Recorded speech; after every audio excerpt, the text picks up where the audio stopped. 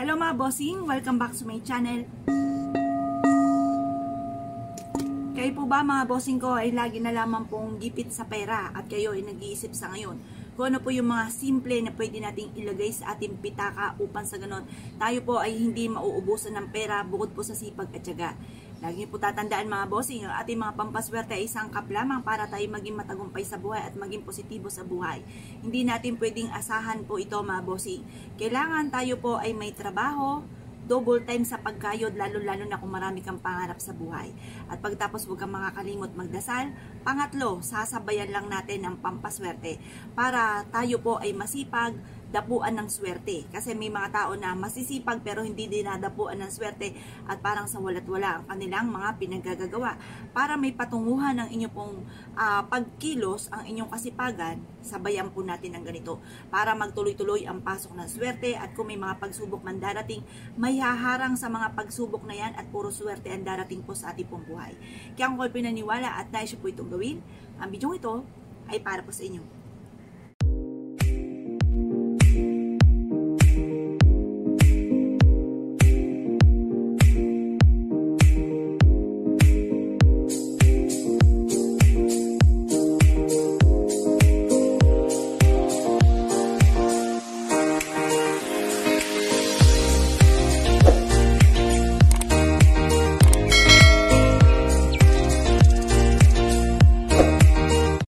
Po mga bossing ko ang pampaswerte na wag na wag mawawala sa inyo pong pitaka. Napakaswerte po nito mga bossing. Ito po isubok na. Paborito ko mga bossing ko at napakasimpleng pampaswerte na hindi ako nagpapawala sa aking pitaka at sa aking pong bag mga bossing. Maging dito sa bintana namin sa aming pong main door or sa mga lahat ng bintana po namin. Meron po nito mga bossing na lagi ko po isinishare sa inyo. Pasensya na po, sinisinok po tayo mga bossing. Ano po mga bossing? Ano po ba itong aking sinasabing ito? Ito po mga bossing ko ay ang simpleng bawang mga bossing. Isang butil ng bawang mga bossing ko ay napakaraming benepisyon dulot po nito. Unang-una, hindi ka susundan ng kamalasan kapag umalis ka sa inyo pong tahanan, bukod sa panalangin sa mahal na Panginoon bago ka umalis ng inyong tahanan, hihingi ka ng gabay na ikaw ay maligtas saan man kayo paroroon. Bukod po dyan mga bossing ko ay gagamitan natin ito ng bawang. Isang butil na bawang na sariwa, kailangan matigas po ito, fresh na fresh, upang sa ganon kayo po ay hindi malasin. Ngayon po mga bossing, ang gagawin nyo lamang maglagay kayo sa inyong pong bag, or kaya sa wallet, or sa inyong pong bulsa, bitbitin kahit saan kayo magtungo, at ito po mga bossing ko, kahit saan ka pumunta, ay lalayuan ka ng mga negatibong enerhiya ng kamalasan niya mga bossing. Yan yung mga negatibong enerhiya na nagdudulot sa inyo ng kamalasan.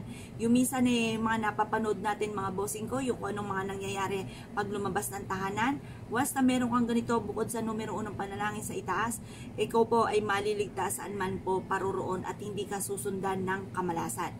Puro swerte ang susunod po sa inyo, ang kakapit sa inyo. At yung mga kumapit ko ng kamalasan na yan, mga bossing ko, ay bibitiw na. Once lagi kang may dala nito, mga bossing ko, ng isang butil na bawang. Huwag kayong makakalimot, mga, mga bossing ko. Pwede rin po ninyong gawin, mga bossing, habang kayo na natutulog, mag-ipit ka ng ganito sa ilalim ng inyong pong unan or maglagay ka ng, ng butil ng bawang sa inyong pong sapatos. Para habang kayo natutulog, hindi po pumapasok dyan ang negatibong enerhiya na kapag umalis kayo kinabukasan ay kayo'y aalatin. Yung bati po na ikaw po ay meron pong backer, meron ka ng backer ha, mag-apply ka ng trabaho. Matik sinabi ng backer po ninyo na kayo po ay siguradong pasado na dahil may backer po kayo.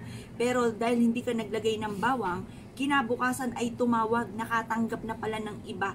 Kahit sabi mo may backer na ilabis-labis na doon sa papasukan ninyo, labis-labis na ng mga empleyado, hindi ka na pwedeng tanggapin pa. Yung mga ganun mga bossing, aalating ka bigla, hindi ka pa nakakaalis. Or kaya bigla kang umalis ng yung tahanan, wala kang proteksyon, ang dami nyo nang inaplayan, hindi ka matanggap sa trabaho. Kaya kailangan meron tayong proteksyon para hindi tayo masundan ng kamalasan, para yung mga malas na yan ay hahawi ka agad sa inyong dadaanan once na meron kang proteksyon protection mga bossing. Kaya may ina, meron kang protection mga bossing ha kapag kayo po ay uh, naggawa po ng ganito, nagdala kayo ng ganito, mapapasin ninyo na iaadya ka sa mga sa mga pangyayari naman na hindi nyo inaasahan. Magugulat ka na lang na bigla ka sinuwerte. Yung ba tipo hindi ka naman mananaya, biglang nakakita ka, tagal-tagal ng service po ninyo or ang tagal ng sasakyan mong jeep. Pagtapos, eh, may, do sa likod mo, no, sa likod po ninyo, eh, meron tayaan napataya ka tuloy kasi meron ka kakilala na tumaya, bigla ka nakatama mga bossing. Yung ba tipong ganun, hindi mo inaasahan. Yun po yung swerte na hindi inaasahan. Yan po mga bossing ko ay kailangan may trabaho ka. Huwag mong aasahan po ang swerte mga bossing ha. Yan po mga bossing ko, bukod sa trabaho po ninyo, kailangan tayo ay swertihin. Kaya gagawa tayo ng ganito para may patunguhan ng ating kasipagan. Kaya kung kayo pinaniwala at nais po itong gawin mga bossing, huwag ka na magpatumpik-tumpik pa. Proven po ito na napakaswerte. Asya, good luck po sa po lahat. Yun na po mga bossing. Salamat po.